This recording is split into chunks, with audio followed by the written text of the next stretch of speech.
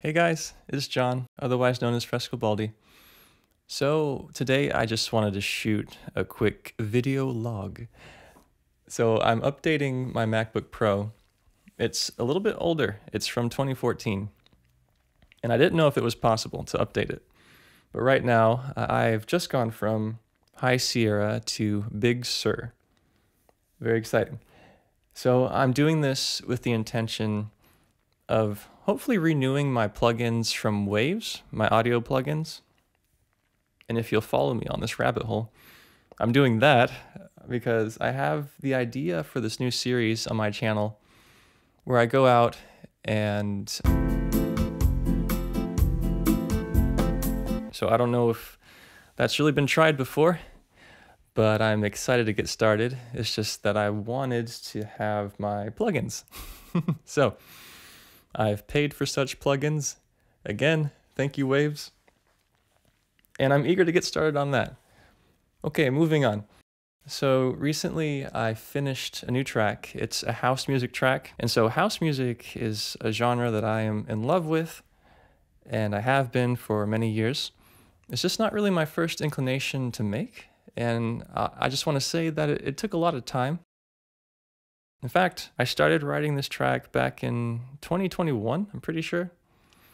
And I just got a new mix of it using the SubPac and my car stereo from work. And so I think it's put together a little bit better now.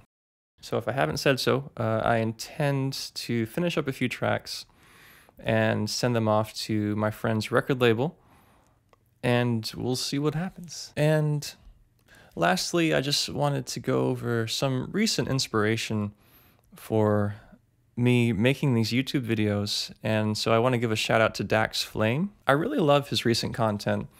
He has decided to have AI dictate pretty much his entire creative life uh, on YouTube this year, and really to influence other aspects of his life as well, including romantic life and career and all of that. But I love his style it feels hyper realistic and I feel like it starts with the thumbnail where it's pretty regular, you know, it's just a shot of his face at the location, but there's something about it that's a little bit extra, like you've sort of pulled up the vibrance fader in Photoshop. And the way that he speaks and shares his process in the actual videos, it's almost like having an awkward yet cordial conversation with a coworker, but it has a very relaxing quality to it, and I'm I'm very happy about that.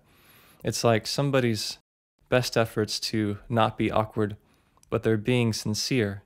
And so you walk away from it feeling like you've learned something.